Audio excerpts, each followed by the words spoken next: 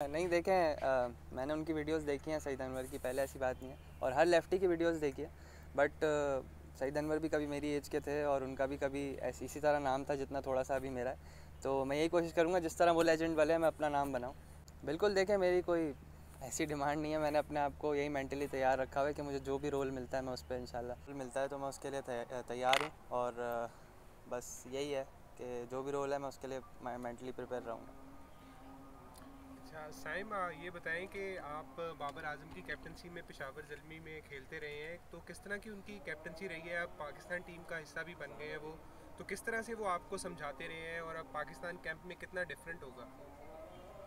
नहीं बिल्कुल आ, उनकी कैप्टनसी मैंने बड़ा इन्जॉय किया था पीएसएल में और यंगस्टर को बड़ा कंफर्टेबल रखते हैं वो अपने साथ और बात करके कंफर्टेबल उसको कॉन्फिडेंस देते हैं। और बड़ा काम रहते हैं फ़ील्ड पे भी। अगर कोई गलती हो जाए और कोई बात मैं उनसे पूछना चाहूँ या वो ख़ुद से आके बताएँ तो वो डिस्कशन करते हैं प्लेयर के साथ और उसको कॉन्फिडेंस देते हैं। तो बड़ा अच्छा रहा है और आगे भी इंशाल्लाह अच्छा ही रहेगा। लग रहा है कि नेट में थोड़ा टफ है। नहीं देखिए जैसे कि हमारे टीम में बॉलर्स हैं सारे मतलब बहुत अच्छा पेस अटैक है हमारे पास तो मैं बड़ा इन्जॉय करता हूँ।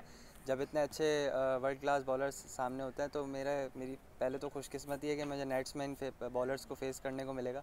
और ऐसी बात नहीं है कि कोई एक बॉलर मैं सब बॉलर्स पे इन्जॉय करता हूँ। अच्छा साइम आल्दो के आप टी ट्वेंटी में इस वक्त, लेकिन एशिया कप और वर्ल्ड कप भी है नेक्स्ट तो जहन में कहीं ना कहीं उन्हें टारगेट किया हुआ है कि टीम में जगह बनाने के लिए जो है, उन्हें भी, उसमें भी एशिया कप और वर्ल्ड कप में आप पाकिस्तान में आए और दूसरा एक और अंडर नाइनटीन में तो आपके फेवरेट आप आप खुद थे।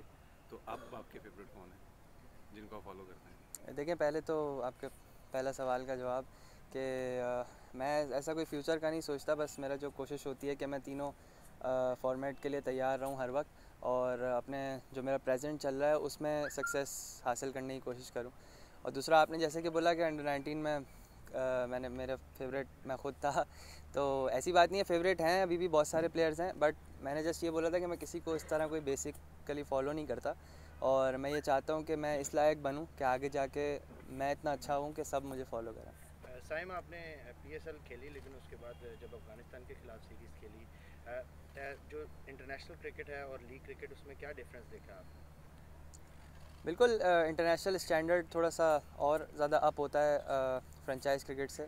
और ऑब्वियसली आपने जब अपने मुल्क की जर्सी पहनी होती है तो उसका भी थोड़ी सी नर्वसनेस होती है और स्पेशली जब आप फ़र्स्ट टाइम खेल रहे होते हैं तो बट ये है कि इंटरनेशनल प्रेशर अलग होता है, उसको डिज़ोल्व करने में थोड़ा सा मुश्किल होती है बट यही कोशिश है कि अच्छे से अच्छा करें।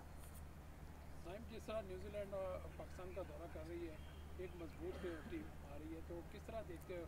क्या पाँच सिफर कर लेंगे जी इंशाल्लाह पूरी कोशिश करेंगे। खेलते इसीलिए हैं कि जितने भी मैचेस आ रहे हैं वो सारे हम जीतें और तैयारी इतनी अच्छी करेंगे इंशाल्लाह कि इसी तरह का रिज़ल्ट आए।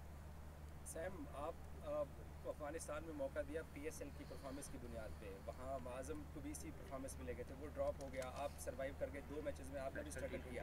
लेकिन वो सीरीज़ शारजा में थी। ये पाकिस्तान के सरफेस पे सीरीज़ होने जा रही है। सो आपका इंटरनेशनल अब तक का एक्सपीरियंस कैसा रहा है और कितना कॉन्फिडेंट है वापस पाकिस्तान खेलने के लिए? जी बिल्कुल कॉन्फिडेंट तो मैं हमेशा रहता हूँ। क्योंकि ऑब्वियसली रिज़ल्ट जो मैच का होता है वो हमारे हाथ में नहीं होता। बट मेरा जो प्रोसेस है वो मैं इतने अच्छी तरीके से कोशिश करता हूँ फॉलो करूँ। जब ग्राउंड में उतरता हूँ तो कॉन्फिडेंस होता है मुझे कि इन रिज़ल्ट मेरे हक़ में ही आएगा।